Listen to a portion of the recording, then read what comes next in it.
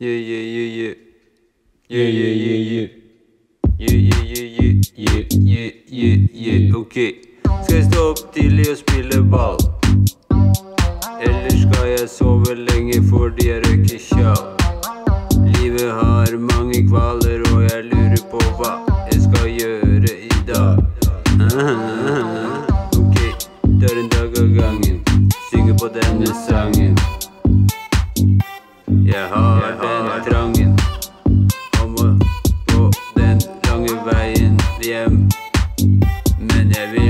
vil sove litt fordi jeg er sliten.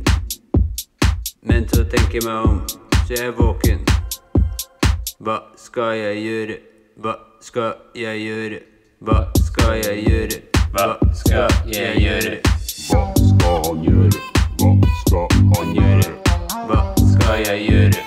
Hva skal han gjøre? Ok, det er ny dag, jeg er trøtt. Men jeg vet går til kjøleskapet mitt og tar ut et lite fat. Ah. Men jeg er fortsatt sulten på noe mer enn mat. Og jeg vet ikke hva som venter på meg nå. Så jeg tar beina på gulvet og tenker meg om.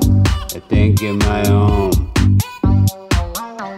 Så står jeg der på mine tær. Jeg har glemt å ta på meg klær. Og jeg lurer på om jeg er sær. Hva skal jeg gjøre? Hva skal jeg gjøre? Hva skal jeg gjøre? Hva skal jeg gjøre? Hva skal han gjøre? Hva skal han gjøre? Hva skal jeg gjøre? Hva skal han gjøre? Hva skal jeg gjøre? Hva skal jeg gjøre? Vel, jeg kan ikke gjøre noe. Og vet du hva, det høres som planen min nå. Jeg tar og legger meg tilbake i senga, fordi det er sånn jeg tjener penger.